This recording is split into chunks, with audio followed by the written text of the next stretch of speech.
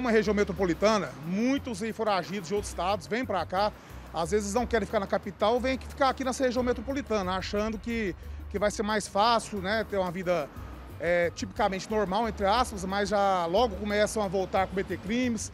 Esse, esse capeta que estava aqui, ele, ele tem um homicídio, ele tem assalto, né? Então ele com certeza também iria praticar outros crimes aqui no nosso estado, né? E com isso a gente conseguiu prender junto com a Polícia Civil Tocantins, que nos passou informação, a investigação, é, a investigação é deles, é, para a gente as informações que esse, essa pessoa estaria morando na nossa região.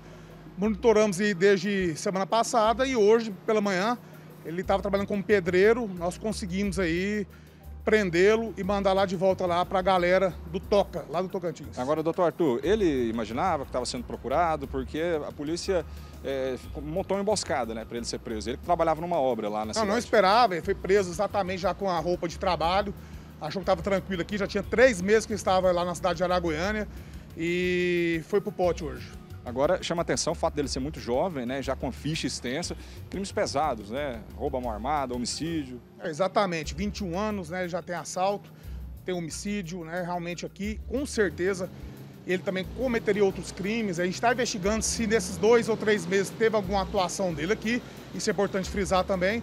Mas o importante é que mais um foragido aqui de outro estado aqui foi preso pela equipe da Polícia Civil.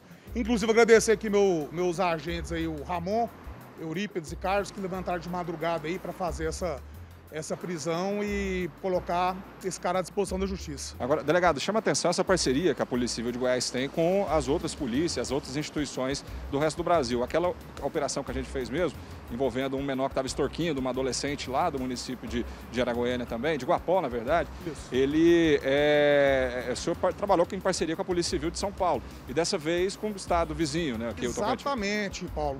Naquela época a gente foi, é, a, a, jovem foi extorquida em Guapó, né, com, com nudes, né, fotos nuas, e nós fomos lá junto com a Polícia Civil, lá de Bauru, né, na DEIC, né, tivemos todo o aparato, né, as polícias civis hoje já se integram, né, a Polícia Judiciária, que é a nossa polícia que investiga, e conseguimos lá em São Paulo, uma delegacia de Guapó, do interior de Goiás, e cumprir prisão, mandar de busca e apreensão no estado de São Paulo. Isso é muito importante, mostra que hoje, né, para a bandidagem, que em qualquer lugar onde tem uma polícia civil atuante, vai ter uma resposta estatal. Exatamente. Antes ficava aquela sensação de impunidade, né? A pessoa cometia um crime, mudava para outro estado, para o interior, achando que ia ficar 20, 30 anos ali fora do radar, mas não é assim que funciona. Não, não é assim, né? Hoje a nossa inteligência trabalha muito bem, as inteligências dos outros estados a gente se integra. É muito importante né, esse combate, principalmente a foragidos dessa região, que vem muito aqui para nossa região.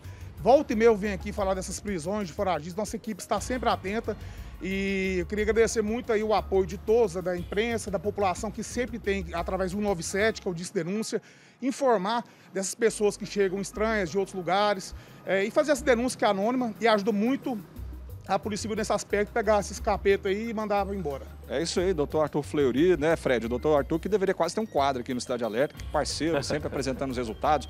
Delegado de Guapó, atende ali quatro municípios grandes, populosos, né, que está sempre aí apresentando esses resultados.